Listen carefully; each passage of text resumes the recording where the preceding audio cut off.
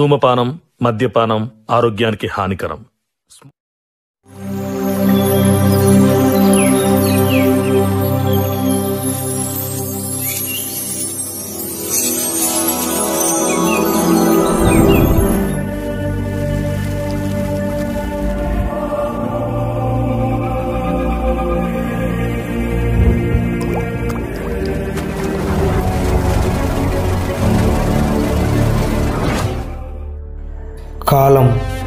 ప్రతి ఒక్కరికి కర్మ ఫలితాన్ని చూపిస్తుంది. ఈ సుదీర్ఘ యుద్ధంలో నా ప్రాణాలు పోవచ్చు. నా తండ్రి ఇచ్చిన మాట వెనుకాడబోనని నా ఊరిచ్చిన మాటని వెనుకాడబోనని ప్రమాణం చేస్తున్నా.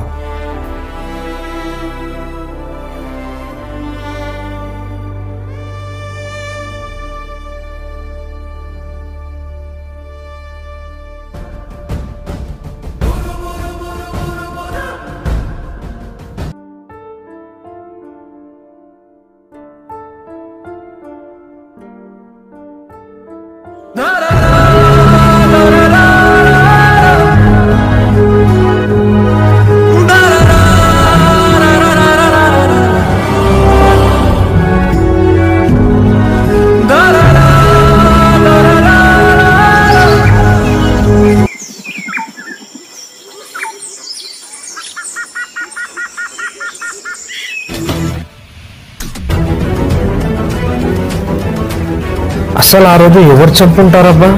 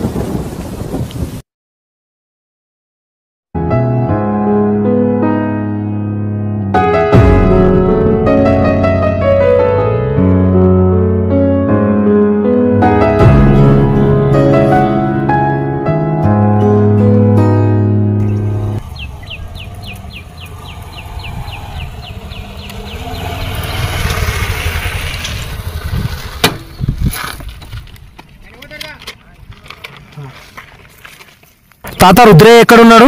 అక్కడ ఉన్నాడు బాబు చెట్టు దగ్గర.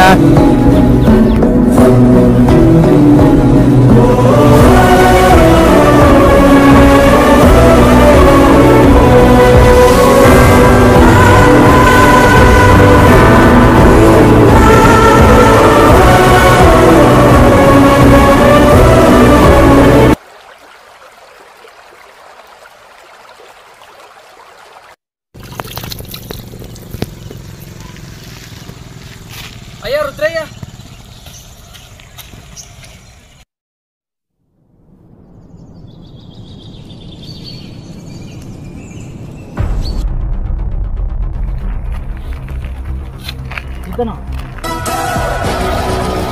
వీడు గత ఐదు సంవత్సరాల్లోనే పెద్ద పెద్ద పైల్వాలను లేపేసి భవానీగా ఎదిగాడు.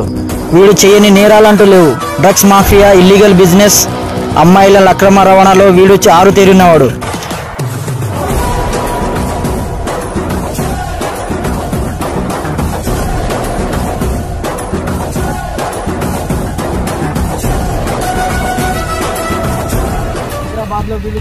నేరాలు ఘోరాలు అనేది లేదు.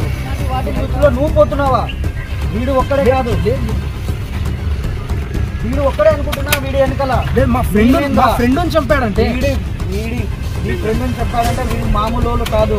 చాలా డీప్గా వెళ్తున్నావు వీళ్ళ వెనకాల కుడి భుజం అంటే భీమేంద్ర ఉన్నాడు. వీళ్ళు ఒకరు కాదు. వీళ్ళ ఒక పెద్ద సామ్రాజ్యం ఉంది. ఆ సామ్రాజ్యాన్ని ముట్టుకుంటున్నావు. జాగ్రత్త. ప్రాణాలతో చెలగాటం ఆడుకోకు. వీళ్ళ గురించి నీకు తెలుసా? కొన్ని సంవత్సరాల క్రితం హైదరాబాద్లో భీమేంద్ర భవానీ సెప్టెంబర్ ఐదున హైదరాబాద్లో కలవడం జరిగింది. ఈ మీటింగ్ దేనికి దారి తీస్తుందో చూడాలి. భీమేంద్ర ముంబైలోని చిన్న చిన్న రాజకీయ అండదండాలను తీసుకొని ముంబైలోని ప్రభుత్వాన్ని శాసించే గ్యాంగ్స్టర్గా ఎదిగాడు.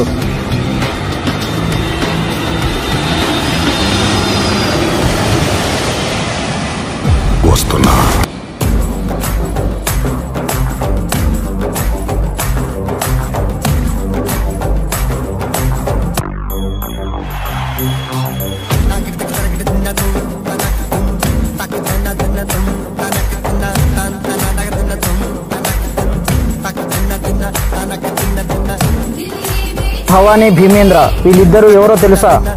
వీళ్ళిద్దరూ అన్నాదమ్ములు. హైదరాబాద్ని భవానీ చూసుకుంటే భీమేంద్ర ముంబైని చూసుకుంటాడు. వీళ్ళిద్దరి కనుసైగలోనూ హైదరాబాద్ ముంబై ప్రజలు గజగజలాడుతున్నారు.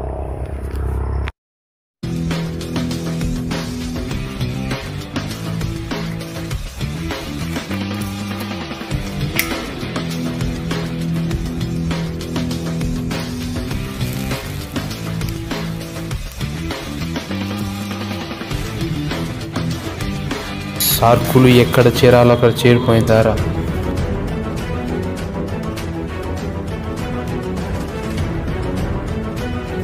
సరుకులు జాగ్రత్త. తేడా వస్తే ఎవడు మిగిలిన లే నేను చూసుకుంటాను నా వల్ల నీకు టెన్షన్ ఎందుకు? అన్నకు తెలియకుండా మాల్ ఎక్కడ తీసుకుపోతున్నామో ఎక్కడికి ఎవ్వరికి తెలియకూడదు.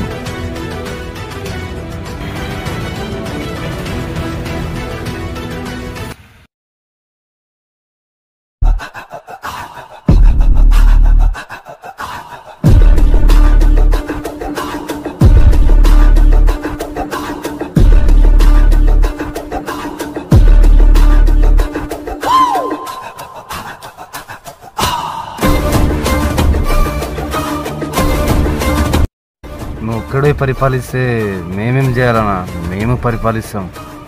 ఏం పరిపాలిస్తాం? అంత సింపుల్ అనుకున్నా. పరిపాలించడం నా వెనక ఉన్నాడు తెలుసా ఇక్కడ నేనే కింగ్ నేను పెట్టినవే రూల్స్. ఆ రూల్స్ నేను అప్పుడప్పుడు ఇష్టానికి మారుస్తుంటాను. అది విని గప్చుప్గా ఫాలో అవ్వాలి. అది వదిలేసి ఏమైనా పిచ్చి పనులు చేయాలని చూశావు? నిన్ను కండ కండాలుగా నరికి విసిరి పారేస్తాను. ఒక్కో टाइगर का हुकुम।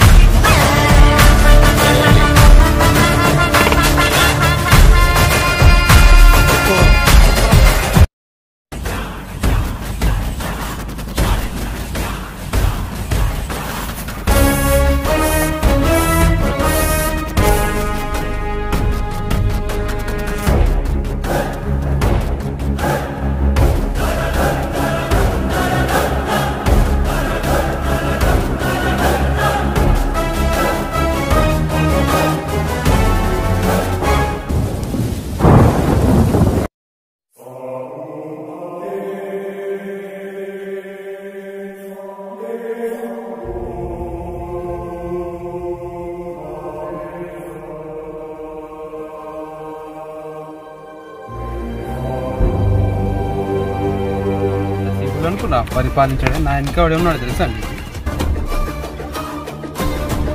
సామ్రాజ్యం ఉంది.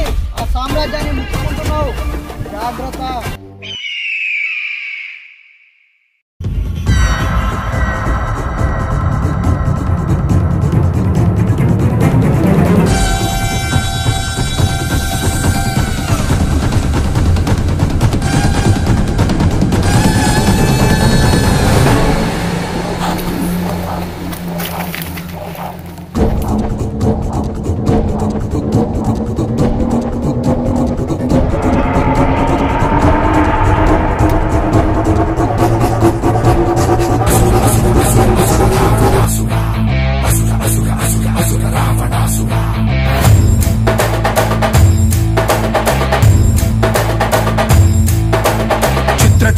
హింసక మృత్యు మృత్యు కంటిక ముత్యకాల ఏకకాల పలు రకాల ధ్వంసక. భూమి కార్మిక కథన రంగ కర్షక రామనగర పట్టణాల సకల జనాకర్షక. వంద మంది శత్రువులైనా క్షమించవచ్చు కానీ నీలాగే వెనుకే ఉండి వెన్ను పుట్టి పొడిచే వాడిని మాత్రం అస్సలు క్షమించకూడదు.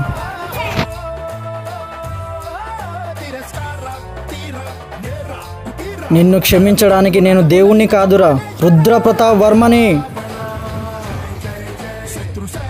రుద్రప్రతాప్ వర్మనిరా